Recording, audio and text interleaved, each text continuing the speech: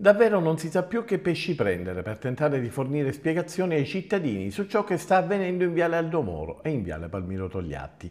A novembre del 2022 fu avviato il cantiere per la realizzazione di una contestatissima pista ciclabile.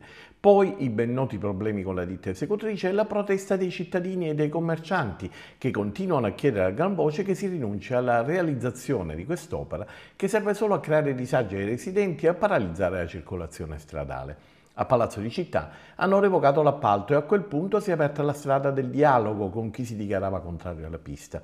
Sta di fatto però che ci si è resi conto che invece la macchina burocratica comunale stava già cercando un'altra azienda a cui affidare il completamento dell'opera, con tutte le criticità denunciate e quindi senza alcuna modifica progettuale.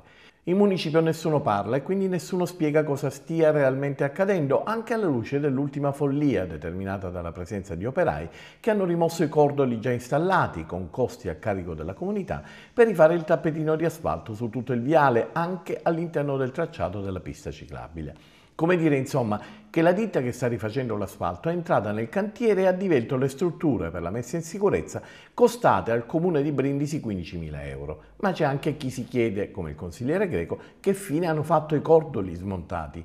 Dulcis in fundo la decisione odierna della polizia locale di multare tutte le auto che hanno parcheggiato nell'area di un non meglio identificato cantiere, il tutto pur in assenza dei mezzi che devono rifare il manto stradale. Ma a chi giova tutto questo caos?